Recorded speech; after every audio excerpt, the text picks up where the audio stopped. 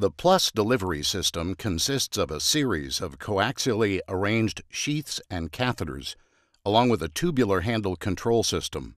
The delivery system has a total length of 175 centimeters and a usable length of 90 centimeters. The usable portion of the delivery system consists of a flexible tip and an outer primary sheath that is used to advance and track over a guide wire. The middle portion of the delivery system consists of a black stationary grip, which provides a steady and secure handhold. The orange shipping retainer is a plastic disposable component that prevents premature deployment. And a gray deployment grip ensures controlled delivery of the stent graft. The flush port stopcock attached to the gray deployment grip is for irrigation of the internal components and the stent graft.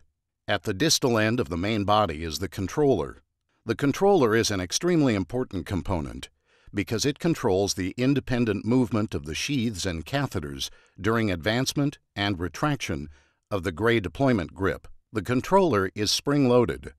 To select the desired position, push the controller in, rotate to desired position, and then release. An arrow located on the main body handle highlights the number position of the controller. A stainless steel rod provides support to the system and is connected to the guide wire lumen, which then connects to the tip. At the distal end of the delivery system there are several key components.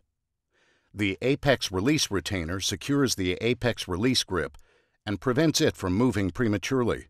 The apex release grip is the component which is retracted to release the bare metal stent once the stent graft has been deployed. The guide wire, luer, and flush port extension tubing facilitate irrigation of the guide wire lumen. Now that we are familiar with the system components, let's take a look at the actions of the delivery system.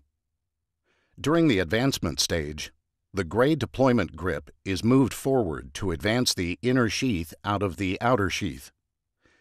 The inner sheath will expand slightly as it exits the outer sheath. The inner sheath has a D-shaped marker to indicate alignment and can be used to determine the direction to rotate the inner sheath if manual rotation is required.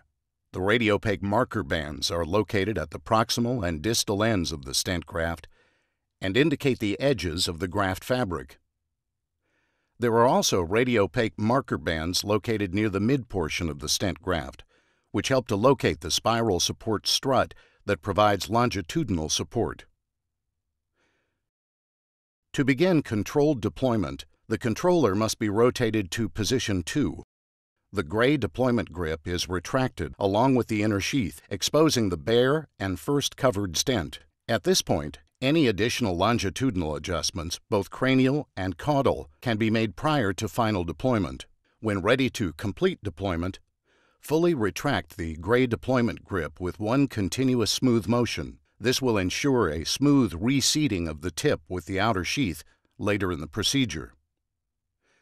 With the stent graft in the desired position, the bare apexes will now be released. Remove the apex release retainer by unscrewing the stainless steel thumb screw. To release the bare apexes, retract the apex release grip, identified with number 3, the complete distance toward the guide wire luer. At this point, the stent graft is in the final position.